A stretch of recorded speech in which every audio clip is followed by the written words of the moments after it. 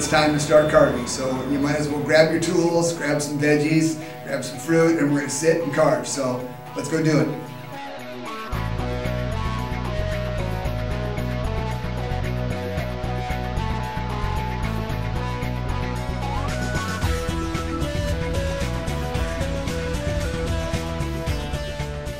Hello, uh, Chef Ray here. On today's show, we're going to be doing some different uh, things today with some different vegetables and fruits. Just want to let you know uh, some of the tools that we're going to be using today. We're actually going to be using some different sizes of uh, U and V cutters. Uh, U cutters are called that way because obviously they're a U cutter. Uh, the V cutters obviously because they're a V cut.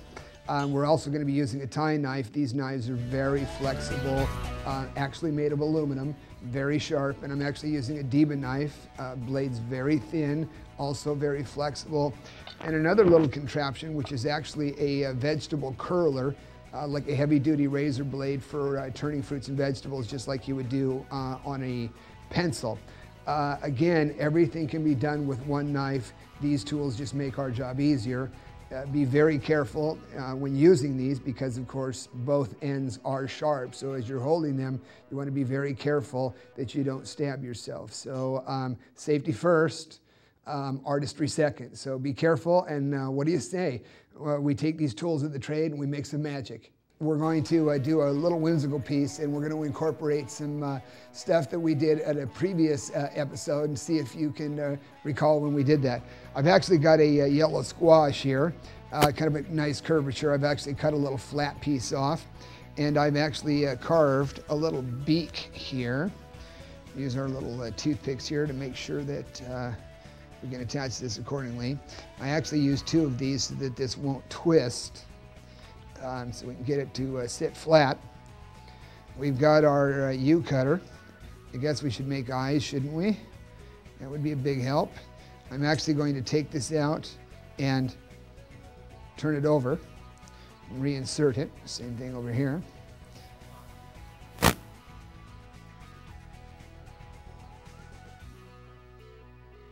Okay. I'm actually going to uh, uh, take the U cutter, take this little piece out. I'm actually going to take that piece and turn it over, reinsert it here. Now, for the feathers, I'm actually going to take my V cutter and actually make the feathers here. We're actually going to cut underneath these with our knife to uh, get them to stand out here. Again, going long along the axis here. Get these to actually stand out here. Now we're going to take our knife and just cut a thin layer underneath these, just so we can begin to see what we did here.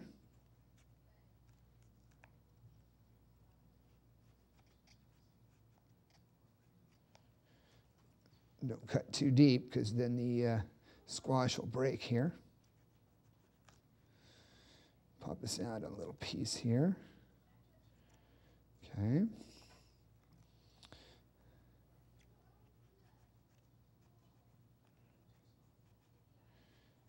All righty. Let's get that little piece out of there. Okay. Go all the way around here. Get these pieces out. Again, being careful not to cut very deep because then the squash will lose some of its integrity. Again, we can actually go shallow along the surface and then bend our tool in so that we can get more of that natural bend to these so that as they dry, they'll actually curl inward, which means you have to go just barely along the surface before you angle this V cutter in. Takes a little bit of skill, a little practice to uh, get used to, but uh, a couple of times you'll have it down. Okay, now that we've got this piece, I've actually cut uh, two pieces of uh, turnip here. Uh, these are roughly about the thickness of my little finger. What I'm going to do is actually cut the design of the wings here.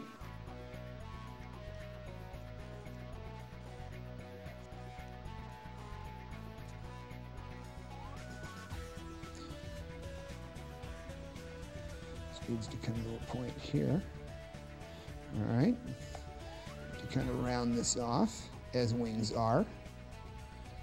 Round it off a little bit more there. Clean up this side here. Let's see here, I've got two toothpicks here. So we'll stick them on the, on the inside here. And this will go on this far side, like so. Now, you have to remember which way the wings are going, so if that was on one side, then the other one has to go the other way. Most people make the mistake of cutting them both the same way, including yours truly. So you want to be careful that you don't do that. I'm going to take a knife here and kind of round this off. Once again, we'll take the two toothpicks here. Again, just putting them in on the side here.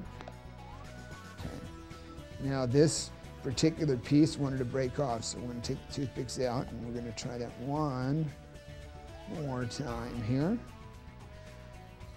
making sure that they don't show from the other side. Let's see here. One here, one there. Of course, it has to have a tail. I happen to have a few extra toothpicks here. I actually have some rhubarb here. Now the end of this squash is very hard, so I actually want to make the holes first because the rhubarb will want to break if you try to force it here. So we're going to put one going to put one there. We're going to grab another one here. Making sure that you know how far in to push your toothpicks, otherwise they will in fact stick through the other side. And again, if this piece broke, we can always take and get a much longer piece of toothpick here make this, make that work. I'm to do one long one here. Now for this piece, we need something pretty long here. So I think that we can get this work here. And in this case, I can actually tuck this piece in. It's a very small piece here. Cut a little notch in here and actually tuck it in. So it'll fit between the slices there. And uh, turn this a little bit that way. And, okay, boys and girls, there you go. There's your bird. A Little rhubarb, a little bit of turnips, and we're good to go. And uh, there you have it. So uh, hopefully you'll join us next time when we uh, get to uh, show you some other little toys. And uh, just a reminder, if you need tools, books, DVDs, you need to learn, you can go to the website, www.chefgarnish.com, located in Torrance, and uh, get your carving fix, if you will, uh, so that you can learn more, get the proper tools, and begin to become the true culinary artist that is inside each and every one of us. So until then, carve on.